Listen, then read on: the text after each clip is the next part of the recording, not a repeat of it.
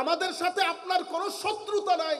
কিন্তু আপনি কেমনে বলেন, আমার নবীর সাহাবি উসমানে গানি ফারুকের মতো হজরত আলী কার্লাম আল্লাহ জাহুল করিমের মতো, সিদ্দিক আকবরের মতো আশারাই মুবাশশারার মতো হুজাইফা ইবনুল ইয়ামানের মতো, আবু হুরাইরার মতো, হাসান বিন সাবেতের মতো সাহাবী রসুল, যারা আমার নবীর শরীরের গন্ধ নিয়েছেন, আমার নবীর সুবতের মধ্যে বসেছেন, আমার নবীর সাথে বর্ষাতে গরমে শরতে যারা আমার নবীর সঙ্গ ছাড়ে নাই, যারা আমার নবীর কারণে ছেলের বিরুদ্ধে তালোয়ার নিয়ে দাঁড়িয়ে গেছে, যারা আমার নবীর কারণে বাবার বিরুদ্ধে, বোনের বিরুদ্ধে, আত্মীয় স্বজনের বিরুদ্ধে রক্তকে রক্ত বলে নাই, আমার নবীর কারণে তালোয়ার নিয়ে দাঁড়িয়ে গেছে, সেই সাহাবাই কেরামের উপর চোদ্দশো বছর পরে এসে আপনারা বলছেন, সত্যের মাপকাঠি না। পারবেন আপনি?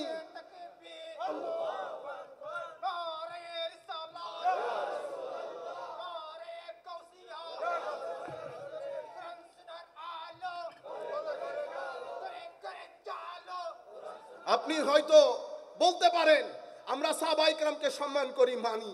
কিন্তু একটা বিন্দু আসার জন্য যখন আপনি জায়গা করে দেবেন, এখানে মানুষের লাইন লাগবে। আপনি অস্ত্রের তাক যখন আমিরে মুয়াবিয়া রাদিয়াল্লাহু তাআলার দিকে করবেন, আপনি তো এখন অনেক বড় উস্তাদ হয়ে গেছেন, অনেক বড় মাস্টার হয়ে গেছেন। আপনি যখন এক অস্ত্র হজরতে আমিরে মুয়াবিয়ার দিকে তাক করবেন, রাদিয়াল্লাহু আন আরেকজন এসে আরেক অস্ত্র আবু বকর সিদ্দিকের দিকে তাক করবে রাদিয়াল্লাহু তাআলা আন আইমায়ে কেরাম দুধ কা দুধ, পানি কা পানি করে গেছেন। আল্লাহর ওয়াস্তে যেগুলা সেটেলড বিষয়, সেগুলা নিয়ে আমাদের কথা বলার কোনো দরকার নাই।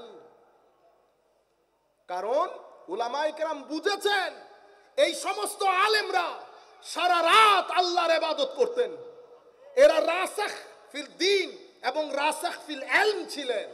এদেরকে আমার আল্লাহ এলমে আজিম নিয়ামত দিয়ে আল্লাহ রাব্বুল আলামিন ওনাদেরকে সম্মানিত করেছেন। ওনারা বুঝতেন সেই কারণে ওনারা সাহাবাই কেরামের চতুর্পার্শ্বে আদালতের দেওয়াল দাঁড় করিয়ে দিয়েছেন। আদালতের দেওয়াল। কেন? দিন পেয়েছি সাহাবাই কেরামের মাধ্যমে। কোরআন পেয়েছি সাহাবাই কেরামের মাধ্যমে।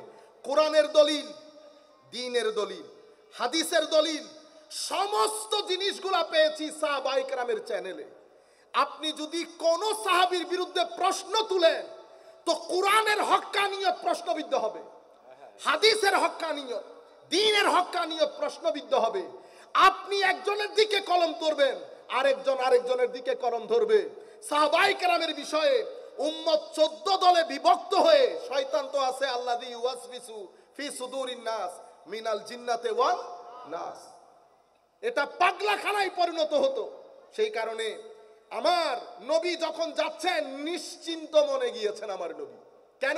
আমার নবী বলছেন, লাইলুহা কানাহারিহা, আমার দিনের মধ্যে রাতের কোনো ঘুটঘুটে অন্ধকার নাই। আমি সব দিনের আলোর মতো করে দিয়ে গেছি। আমার পরে আমার উলামারা থাকবেন উম্মতের।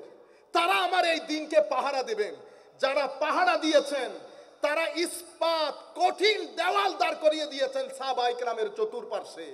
আপনি এসেছেন, একজনকে টেনে বের করবেন। আপনি একজনকে টেনে বের করলে আরেকজন আরেকজনকে টেনে বের করবেন। আরেকজন আরেকজনকে টেনে বের করবেন। আহলু সুন্না বল জামাত ছাড়া, আমি এটা উলামাইক আমাদের ছাত্র যারা তাদের জন্য বলছি, আল ফরকু বাইন আল ফেরাক, ইমাম আব্দুল কাহের আল বাগদাদি রহমতুল্লাহ আলাই ওয়া নাফা'না বিল উলুমিহি ফিদ দারাইনি, আমিন। উনি ওনার কিতাবের শুরুর দিক থেকে উনি বলেছেন আহলুস সুন্নাহ ওয়াল জামাত ছাড়া যত ফেরকা আছে ইসলামের মধ্যে, মুসলমানদের মধ্যে, প্রত্যেক ফেরকা কোনো না কোনো সাহাবীকে গালিগালাজ করেছে। আহলুস সুন্নাহ একমাত্র উম্মতে মুসলিমার মেইন স্ট্রিম যারা কোন সাহাবীকে গালিগালাজ তো দূরের কথা, সামান্য পরিমাণ সমালোচনার তীর গায়ে লাগতে দেয় নাই। গালিগালাজ তো অনেক দূরের কথা। আহলু সুন্না বল জামাত ছাড়া উনি ওখানে বিলকুল লিস্টি করে দিয়েছেন, লিস্ট। মোতাজেলা কোন সাহাবিকে গালি দিতেন, কেন গালি দিতেন? শিয়ারা কাদেরকে গালি দেন, কেন গালি দেন? খারেজিরা কাদেরকে গালি দেন, কেন গালি দেন? জাবারিয়া, কাদেরিয়া কাদেরকে গালি দেন, কেন গালি দেন? একেবারে লিস্ট করে দিয়েছেন। শুধুমাত্র আহলু সুন্নতে ওয়াল জামাত ছাড়া। আপনি যখন সত্যের মাপকাঠি না বলবেন, সমালোচনা করা যাবে বলবেন এখানে তো সব মুসলমানের দল না, মুসলমানের ভিতরে মুনাফেকের দল আছে। তারা তো বাইরে থেকে টাকা, এরা দিনকে অতিমাত্রায় বুঝতে গিয়ে, এরা তো যেতে যেতে সিদ্দিক আকবরের পাঞ্জাবি ধরে টান দেবে। বুঝতে পেরেছেন আপনারা? সেই কারণে উম্মতের উলামারা, সাহাবাই কেরামের চতুর পার্শ্বে, কেউ যদি আমির মুয়াবিয়া রাদিয়াল্লাহু তাআলার ব্যাপারে এখানে কারও অন্তরে বিন্দু পরিমাণ ইদার উদার থাকে? আল্লাহর দোহাই দিয়ে বলছি, খবরদার এই শয়তানি বাদ দিয়ে দেন। কেন? আমার ভাই, আপনি একজনকে নিয়ে টান দিলে সমাজের মধ্যে শত লোক আছে আরেকজনকে নিয়ে টান দেওয়ার। আপনি তখন রক্ষা করতে পারবেন? না। সেই কারণে এটা উম্মতের রেড জোন। এটা উম্মতের রেড জোন, আর্মি এরিয়া। ঢুকলে খবর আছে, ঢুকলে খবর আছে। আপনারা পুরো বিষয়টা কনসেপ্টটা বুঝতে পেরেছেন তো? ওয়াল্লাযীনা আমানু ওয়াহাজারু ওয়াজাহাদু ফি সাবিলিল্লাহ। ওয়াল্লাযীনা আওয়াউ ওয়া নাসারু। হায় হায়। মুহাজির এবং আনসার, যারা সফর করেছে, যারা ঠিকানা দিয়েছে। গড়বাড়ি স্ত্রী, পুত্র, জায়গা সম্পত্তি, কি জজবা তাদের ছিল? একজন গড় বাড়ি, পরিবার, পরিজন ছেড়ে দিয়েছে। আজকে রসুলের কারণে আমার নবীর জজবাকে অন্তরে ধারণ করে আল্লাহ পাক জানে কি প্রেমে তারা মতোয়ারা হয়ে গেছে। সব কিছু ছেড়ে ছুড়ে আমার নবী বলছেন, যেতে হবে সাহাবাইকরাম লাইন ধরেছে যাওয়ার জন্য। কেউ নিজের তিন মাসের শিশু ফেলে চলে যাচ্ছে। আপনি কি মনে করেন এটা এমনি হয়েছে? আজকে রসুল সাহবাইকরামকে পাগল করে দিয়েছে। আজকে রসুল সাহবাইকরামকে মতোয়ারা করে দিয়েছে। সবাই যার যা কিছু আছে রেখে ঢেকে দিন প্রতিষ্ঠার জন্য, শুধু আমার নবীর মুখে হাসি ফুটানোর জন্য। আমার নবী যেন মঞ্চঠ না করে। আমার নবী যেন মঞ্চট না করে। প্রত্যেক সাহাবি আমার নবীর সাথে মদিনা শরীফ চলে গেছে।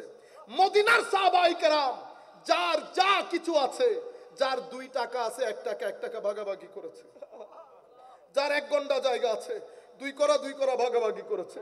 স্ত্রী পর্যন্ত কোন মায়ের ছেলে কখনো নিজের প্রাইভেসি কারও সাথে শেয়ার করবে না। আজীব, আজকে রসুল। হব্বে রসুল এক আজীব জিনিস। নিজের স্ত্রী পুত্র শেয়ার করছে। সাহাবাই কেরামকে সেটেল করে দিয়েছে।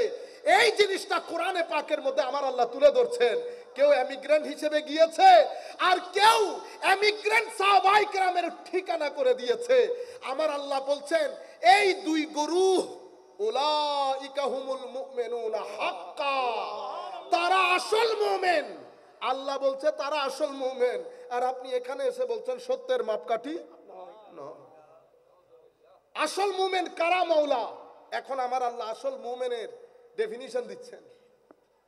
ইন্নামাল মুমিনুন আল্লাযীনা ইযা যুকিরাল্লাহ ওয়াজিলাত কুলুবুহুম ওয়া ইযা তুলিয়াত আলাইহিম আয়াতুহু।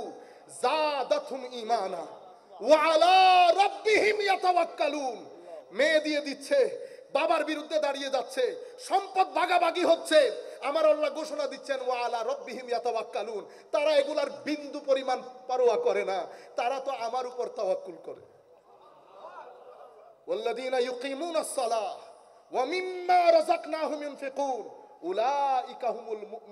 হাক্কা। আমার আল্লাহ বলছে, এরাই আসল মুমিন। সাহাবাই আমার, অতপর পরবর্তী যুগের কেরাম যখন দেখলেন যে আমরা যদি এই জায়গাটা খালি রেখে দেই, ফাঁকা রেখে দেই, মুনাফিক ডুববে নামে নামে, সুতরাং আর সাহাবাতু কুল্লুহুম উদুল বলে একটা দেওয়াল দাঁড় করিয়ে দিয়েছেন। খবরদার, সাহাবাই কেরামের গায়ে কেউ যেন একটা কালো দাগ বসাতে না পারে। কারণ এই গ্রুপটাকে আমরা হেফাজত করতে হবে। কেন? কারণ ইনারা হচ্ছেন কোরআনের বর্ণনাকারী, হাদিসের বর্ণনাকারী ভেকার সব কিছু এই চ্যানেলের মাধ্যমে উম্মতের কাছে গিয়ে পৌঁছেছে। এটা ইমাম ইবনু হাজার আসকালানিও বলেছেন, ইমাম ইবনু আব্দুল বার উনিও বলেছেন, আমরা এই জায়গার মধ্যে আসব ইনশাল্লাহ সময় অত্যন্ত সংক্ষিপ্ত, আমরা আর আয়াতগুলা না পড়ি।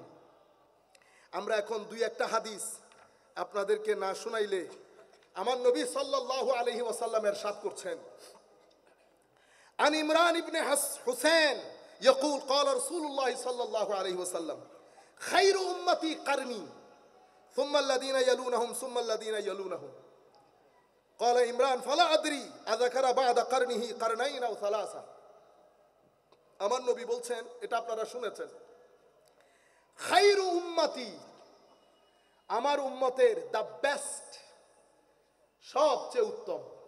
কারা? কারনি আমার যুগে, অর্থাৎ আমার সাহাবাইকরা আমার সাহাবাইকরামের যুগ সবচেয়ে উত্তম।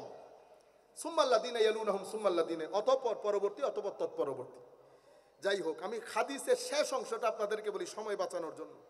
সুম্মা ইন্না বাদাকুম কাউমান ইয়াশহাদুন ওয়ালা ইউস্তাশহাদুন। এর পরবর্তীতে, হায় হায়, আমার উন্মতের মধ্যে ফেতনা ফাসাদের যুগ হবে। তাদের কাছ থেকে সাক্ষী তলব করা হবে না, সাক্ষী দিতে চাইবে, তলব করা হবে না। কেন? কারণ ওই ক্রেডিবিলিটি উম্মতের থাকবে না। ওয়া খুনুন ওয়ালা ইউতামানুন। তারা খেয়ানত করবে। তাদের উপর আস্থা রাখা হবে না। খেয়ানত করবে, আস্থা রাখা হবে না। ওয়ানজুরুন ওয়ালা ইউফুন। মান্নত করবে মান্নত পুরা করবে না। ওয়াজহারু ফিহিম উসমান তখন উম্মতের মধ্যে মোটাপন মোটাপন মানি লোভ, দুনিয়া খাওয়া দাওয়া এগুলা বেড়ে যাবে। অর্থাৎ আয়েস বেড়ে যাবে। তো আমার নবী সাল্লাল্লাহু আলাইহি ওয়াসাল্লাম নিজের যুগ, অর্থাৎ সাহাবাই কেরামের জমানাকে সবচেয়ে উত্তম যুগ বলেছেন এটা একটা। এর পরবর্তীতে অন্য রেওয়ায়েতের মধ্যে এই হাদিস ইমাম তিরমিজি রেওয়ায়েত করেছেন। ইমাম বুখারি উনার কবিরের মধ্যে ইমাম দাইলামি ফেরদৌসের মধ্যে ইমাম তিরমিজি বলেছেন, হাজা হাদিসুন হাজা হাদিসুন হাসানুন গরিব। আমি এগুলা বলছি লাইভে লাইভ হচ্ছে তো সবাই একটু জানতে পারল এই জন্য আনজাবিরিন আনিন নবী সাল্লাল্লাহু আলাইহি ওয়াসাল্লাম কল হযরত জাবের থেকে বর্ণিত রাসূল করিম সাল্লাল্লাহু আলাইহি সাদ করেছেন, লা তামাসসুন নারু মুসলিমান, রাআনি আও রাআমান রাআনি। আগুন স্পর্শ করবে না, ওই মুসলমানকে যে আমাকে দেখেছে। আও রান রানি আরে আমারে দেখেছে, দূরে রাখ। যারা আমাকে, আমার সাহাবাই কেরামকে যারা দেখেছে, তাদেরকেও আগুন স্পর্শ করবে? না